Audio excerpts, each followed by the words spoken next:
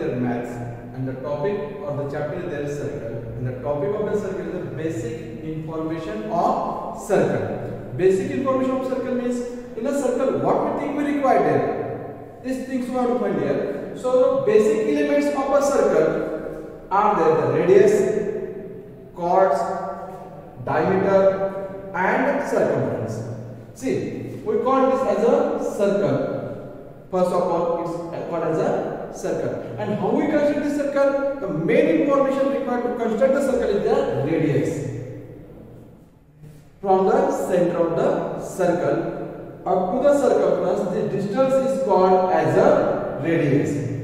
Once again i repeat about the radius. There from the center of the circle to the circumference this length is called as a radius and it is denoted by small r second part chord what is the chord here the chord means the segment which join any two points of a circumference any two points this first and this second.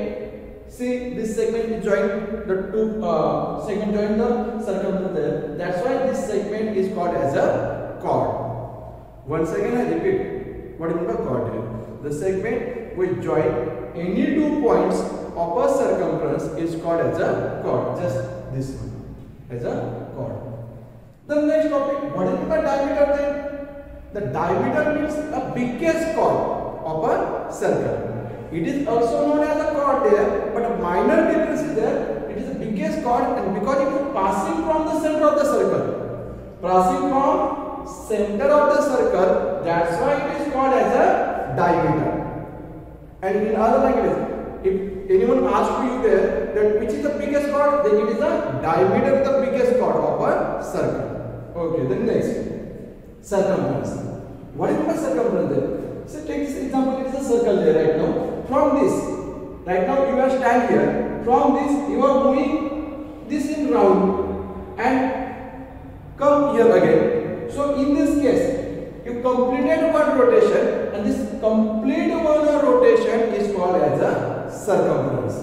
Okay? Once again i repeat about the circumference there. If you stand here and from this you are moving here on a circular circle and come here again there then in this total one rotation is called as a circumference. Okay? Once again i repeat there for the basic elements fastly there the radius chords diameter and what there circumference. By the radius we construct the circle